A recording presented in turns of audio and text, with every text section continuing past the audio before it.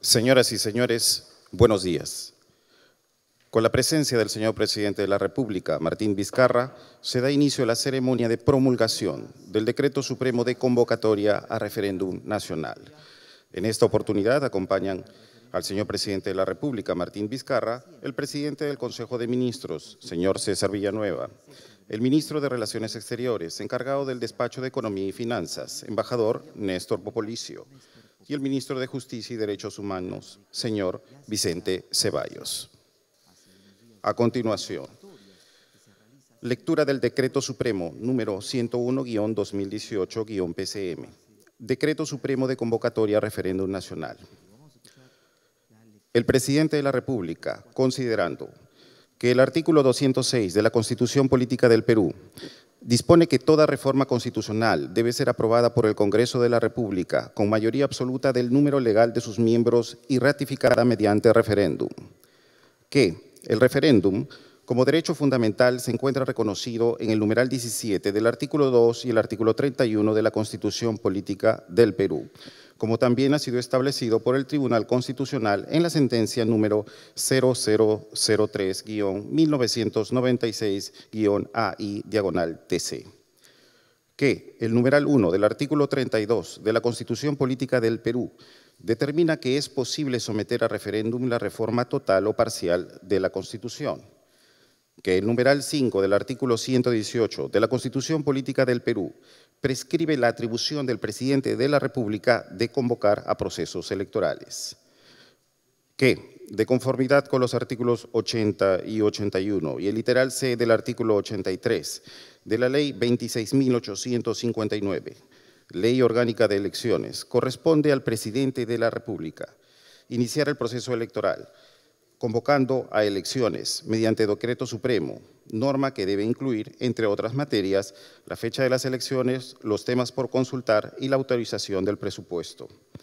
Que el artículo 82 de la Ley Orgánica de Elecciones establece que la convocatoria a referéndum se hace con una anticipación no mayor de 90 días, calendario, ni menor de 60 que con fecha 3 de octubre de 2018, el presidente del Jurado Nacional de Elecciones remite al presidente del Consejo de Ministros un informe sobre el procedimiento que se debe seguir para la convocatoria a referéndum ratificatorio de reformas constitucionales, oficio 393-2018-P-JNE, concluyendo que, entre otros temas, que corresponde al presidente formular las preguntas que se someterán a referéndum en el mismo acto de su convocatoria que con fecha 4 de octubre de 2018, el presidente del Congreso de la República remite al presidente de la República las autógrafas de la reforma constitucional sobre la conformación y funciones de la Junta Nacional de Justicia, el financiamiento de organizaciones políticas, la bicameralidad dentro de la estructura del Congreso de la República y la prohibición de la reelección inmediata de parlamentarios de la República. De conformidad con el numeral 17 del artículo 2, el artículo 31, el numeral 1 del artículo 32, el numeral 5 del artículo 118 y el artículo 206 de la Constitución Política del Perú y la Ley 26.859, Ley Orgánica de Elecciones, decreta. Artículo 1. Convocatoria. Convócase a referéndum nacional que se realizará el día domingo 9 de diciembre de 2018. Artículo 2. Objeto. La convocatoria al referéndum nacional tiene por objeto someter a consulta de la ciudadanía la ratificación de las siguientes cuatro autógrafas de las leyes de reforma constitucional aprobadas por el Pleno del Congreso de la República, que se anexan al presente decreto supremo. 1 Ley de Reforma Constitucional sobre la conformación y funciones de la Junta Nacional de Justicia. 2.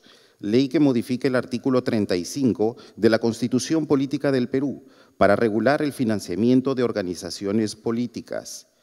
3. Ley de Reforma Constitucional que prohíbe la reelección inmediata de parlamentarios de la República.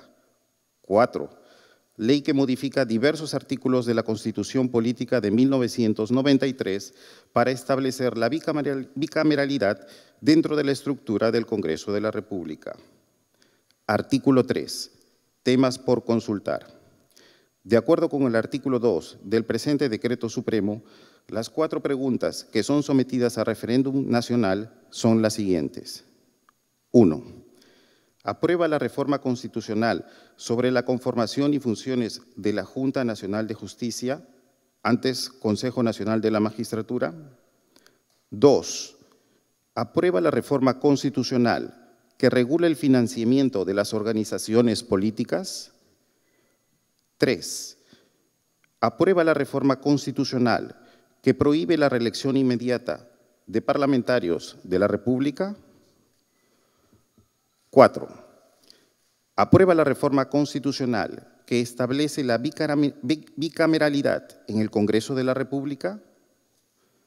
Artículo 4. Sistema electoral. Corresponde al Jurado Nacional de Elecciones, a la Oficina Nacional de Procesos Electorales, y al Registro Nacional de Identificación y Estado Civil, en el marco de sus competencias y atribuciones, expedir los reglamentos y demás normas que resulten necesarias para la realización del presente referéndum. Artículo 5. Presupuesto. El Ministerio de Economía y Finanzas adopta las medidas pertinentes para la habilitación y entrega del presupuesto que se requiere para la ejecución del referéndum nacional. Artículo 6. Refrendo.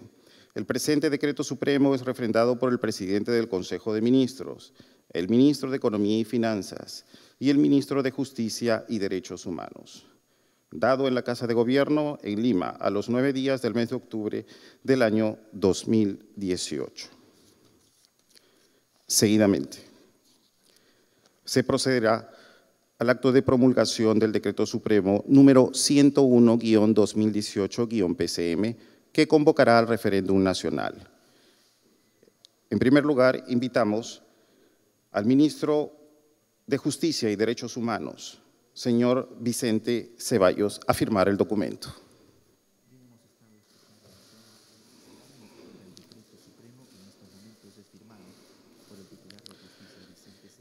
Seguidamente, el ministro de Relaciones Exteriores, encargado del despacho de Economía y Finanzas, embajador Néstor Popolicio.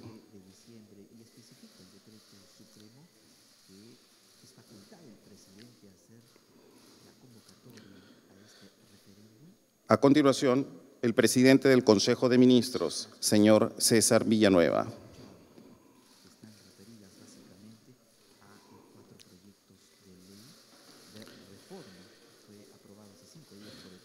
A continuación, el señor presidente de la República promulgará el decreto supremo 101-2018-PCM.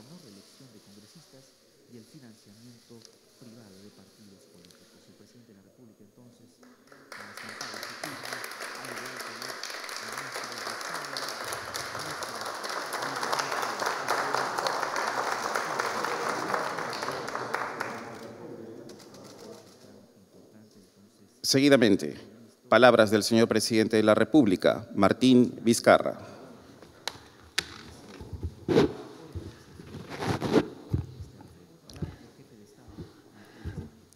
Muy buenos días, tengan todos ustedes.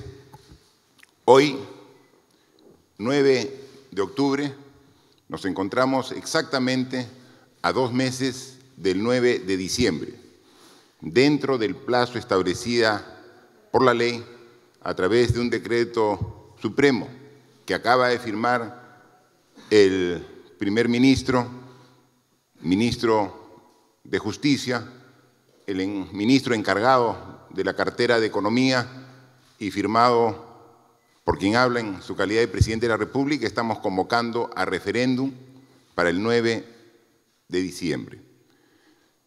Quería manifestarles que estas reformas fueron planteadas en el Congreso de la República al Perú, a todos los peruanos. Las cuatro reformas con el sustento correspondiente fueron tramitadas a través del Congreso de la República y luego de un análisis del Congreso han sido aprobadas. Sin embargo, estas reformas contienen algunos cambios que han sido incorporados en las mismas. Queremos manifestarle que hemos hecho una revisión en detalle y minuciosa de las reformas que hemos recibido y hemos podido apreciar que, a pesar de los cambios, tres de ellas no tienen cambios sustanciales. Son cambios que pueden corregirlas, pero que mantienen eh, el concepto de fondo que propusimos al Perú el día 28 de julio. Sin embargo, hay una de las reformas que a nuestro juicio sí altera el concepto que fue propuesto. Me refiero a la reforma de bicameralidad. Y podemos destacar dos conceptos que merecen mencionar y analizar. Como todos ustedes saben, hace dos días fueron las elecciones regionales y municipales que el país participó de manera masiva. Felicitamos a todos los peruanos por la elección que han hecho y felicitamos a quienes han sido electos. Hace un momento he estado con el electo alcalde del municipio de Lima Metropolitano. Pero algo que destacamos es que se han elegido alrededor de 1.800 alcaldes distritales, casi 200 alcaldes provinciales, 25 gobernadores regionales, y del total, menos del 1% de estas autoridades son mujeres. Menos del 1%. Nosotros en nuestra propuesta que hicimos al Congreso de la República establecíamos que un Congreso bicameral, como lo proponíamos, debería dar opción a la población de que pueda elegir entre hombres y mujeres, con una paridad. Finalmente es la población quien decide con su voto a quién elegir, pero tendría que en el en las propuestas, en los candidatos, tendría que haber una paridad. Ese concepto que nosotros consideramos que es fundamental para que sea considerado como una norma de carácter constitucional ha sido retirado de nuestra propuesta. Queremos corregir los resultados de esta falta de paridad que existe en las autoridades. Pero hay otra, otro aspecto que también tenemos que destacar no solamente han retirado este concepto que consideramos básico en la bicameralidad, sino que han incluido uno que no fue propuesto, que es el concepto de la cuestión de confianza. La cuestión de confianza está establecida en la Constitución vigente y es una forma de establecer el equilibrio de poderes entre el Poder Legislativo y el Poder Ejecutivo. A través de una modificación de reglamento, el actual Congreso ha querido corregir ese equilibrio en perjuicio del Ejecutivo y por eso hay una demanda en el Tribunal Constitucional que estamos seguros que va a dar la razón de que ese reglamento es inconstitucional. Pero sin embargo, aprovechando un proyecto de reforma constitucional que como Ejecutivo planteamos con un buen objetivo de tener una bicameralidad en el Congreso de la República, se incluye un artículo donde que esos cambios en el reglamento quieren darle fuerza y valor constitucional a través de esta reforma, cosa que a nuestro juicio lo desnaturaliza en su concepto. En consecuencia, somos muy respetuosos de la independencia de poderes, somos muy respetuosos de la institucionalidad. Por eso los cuatro proyectos de ley perdón, los cuatro proyectos de reforma constitucional que hemos recibido, hoy elevamos a una consulta a través de un referéndum para que la población se manifieste, tal y conforme el Congreso de la República nos los ha remitido.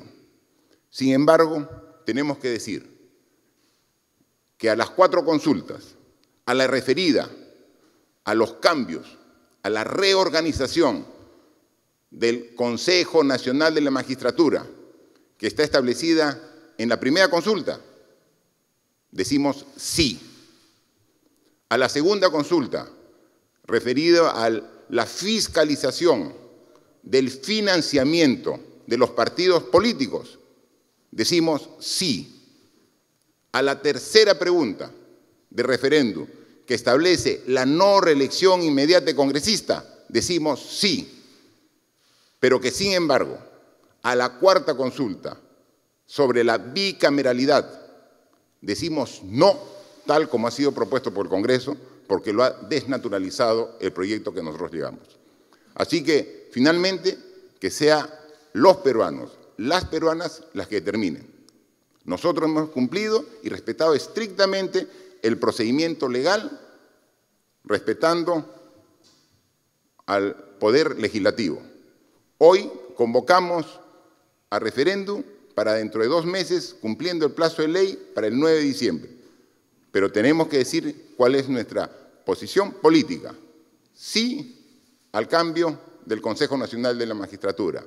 Sí a la fiscalización de los partidos políticos. Sí a, la no reelección de congresistas, pero no a la bicameralidad. Bicameralidad que estamos de acuerdo, pero no a la bicameralidad tal y conforme hemos recibido el proyecto de reforma constitucional.